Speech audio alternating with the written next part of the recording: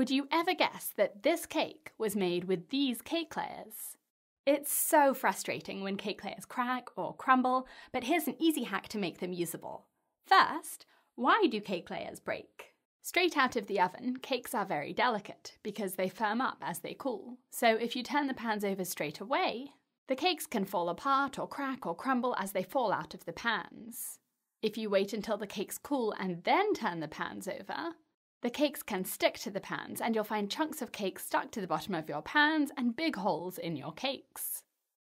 Before showing you how to fix these layers, how can you prevent this happening in the first place? There are three ways. First, check your pans before you use them to make sure they aren't scratched or dented. Scratches in the non-stick surface of the pans will open up areas where the cake can stick. And dents mean that a pan is no longer perfectly round, so the cake can't slide straight out of the pan. Number two, always grease your pans before pouring batter into them, using butter or oil or a non-stick spray.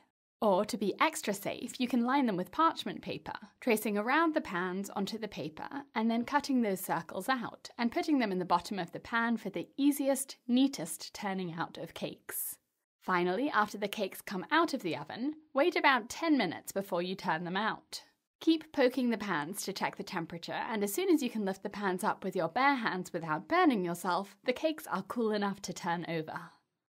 Okay, now the part you've been waiting for. What can you do to fix broken cake layers so that you can use them for your cake? After taking cakes out of the oven, let the layers cool completely and then wrap them up tightly in cling film or saran wrap and put them in the freezer for two hours or overnight. The pieces will freeze together, which makes them much easier to handle. Assemble your cake with buttercream as the filling because buttercream acts as glue when it sets. Be generous with the filling because it will sink into any cracks or gaps and fill those in to make the cake level and stable. Alternate your cake layers and filling, and since the layers were frozen, they'll chill and set the buttercream filling within a few minutes. And that buttercream, once it's set, will hold everything together like glue.